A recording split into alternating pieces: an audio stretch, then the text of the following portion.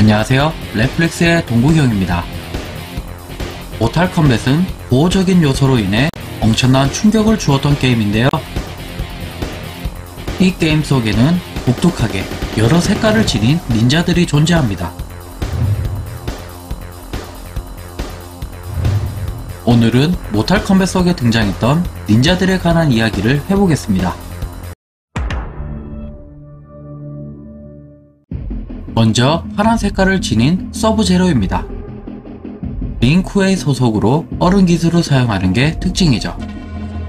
링쿠웨이는 닌자가 아니라고 부정하며 자신들의 가문에 자부심을 가지고 있는데요. 닌자라고 불리면 분노하기도 합니다. 서브제로는 척추를 뽑는 피니시로도 유명하죠.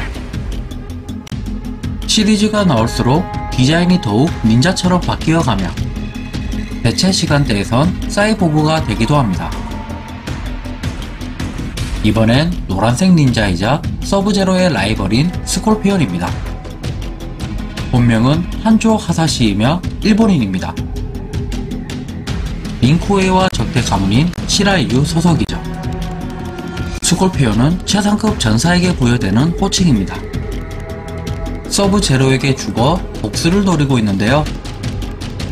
지옥에서 망령으로 부활해 불꽃 기술도 사용합니다. 비극적인 사연과 스토리가 많은데요. 그래서인지 모탈 컴뱃에서 인기가 가장 많아 진주인공 취급받기도 합니다. 서브 제로와 스콜피언의 자세한 이야기는 모탈 컴뱃 스토리 몰아보기를 참고해 주시길 바랍니다. 녹색 닌자 랩타일 인간의 모습을 하고 있지만 자테라 행성 출신의 파충류 외계인입니다. 처음에는 스콜피언 서브제로 캐릭터의 색깔만 바꿔 우려먹듯이 등장했는데요.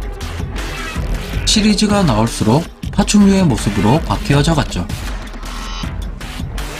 피니시 때 파충류의 얼굴을 드러내기도 하며 산성침을 뱉습니다.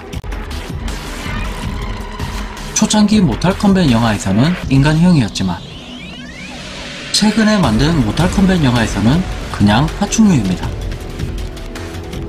검정 닌자 눕 사이봇 랩타일과 마찬가지로 닌자 우려먹기로 탄생한 캐릭터입니다. 선택 불가 hidden 캐릭터였지만 모탈 컴뱃 디셉션에서 정식 캐릭터가 되었죠. 스콜피언에게 죽었던 일대 서브제로라는 설정이 추가되어 스토리상 비중이 많아지기도 했습니다. 시리즈가 나올수록 스타워즈의 다스베이더 같은 디자인을 하고 있습니다. 붉은 닌자 얼맥 랩타일의 버그로 인해 붉은 색깔로 나왔는데요. 제작진들이 버그로 나온 것을 실제 캐릭터로 차용하게 됩니다. 여러 영혼의 사념체가 모여 탄생했다는 설정을 지니고 있죠. 시리즈가 이어지면서 마법사 같은 모습으로 바뀌어져 가며 스토리상 비중도 많이 늘어납니다. 모탈 컴뱃 2 영화에서는 샤오칸의 부하로 등장해 눕 사이봇을 소환하기도 합니다. 보라색 닌자 레인 fake hidden 캐릭터로 첫 등장했지만 에드니아의 왕자라는 설정이 생겼습니다. 스토리상 매국노인데요. 인간 말종스러운 행보를 보여 인기가 없는 편입니다. 모탈 컴뱃 2 영화에선 샤오칸의 부하로 등장했지만 샤오칸에게 아무 이유 없이 죽임을 당하는데요. 배신 당하기 전 미리 처단한 것으로 보입니다. 회색 닌자 스모크 스콜피언 베이스를 재탕해 탄생한 닌자입니다. 온몸에 연기가 나오며 성능 또한 좋은 편이었죠. 대체적으로 사이보그 모습으로 많이 기억되는데요. 모탈 컴뱃 영화에서도 사이보그로 등장합니다. 대체 시간대에선 사이보그가 되지 않지만 대신 사형마가 되는 닌자이죠. 다음 편은 여성 닌자 캐릭터들에 관해서 이야기해 보겠습니다. 시청해주셔서 감사합니다.